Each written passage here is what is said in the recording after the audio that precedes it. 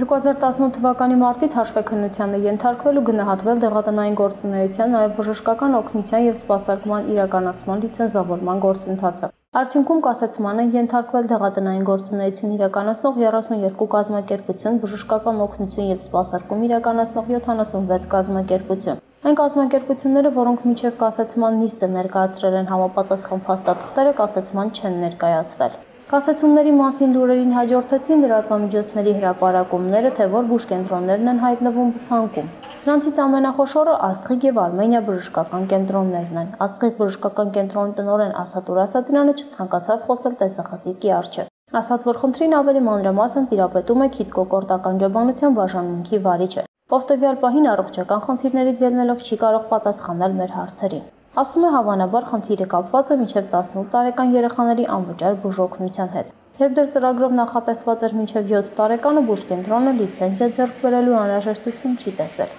Իսկ հիմա իրենք նախապես դիմել են նախարարություն լիցենզիա ստանալու համար։ Խոսեցինք նաև Արմենիա բժշկական կենտրոնի ֆինանսական գծով փոխտնօրեն Նորայր Քրմոյանի հետ, ով ասաց. Մենք ասեցված լիցենզիաներ չունենք։ Հանրապետական հիվանդանոցը մեր հիմնարկը աշխատում է։ Նախարարությունից գրություն չեք ստացել։ Իսկ պայ դրությամբ դեռ չենք ստացել ոչ մի գրություն։ Շատ շուշացավ նաև առողջապահության նախարարության պարզաբանումը, որով հայտնել էին, որ կասեցման են ենթարկվել միայն այն դեղատները եւ բուժկենտրոնները, որոնք ժամկետների շրջանակներում չեն ներկայացրել համապատասխան փաստաթղթերը։ Աննա Ավետիսյան, Մեդմեդիա լրատվական։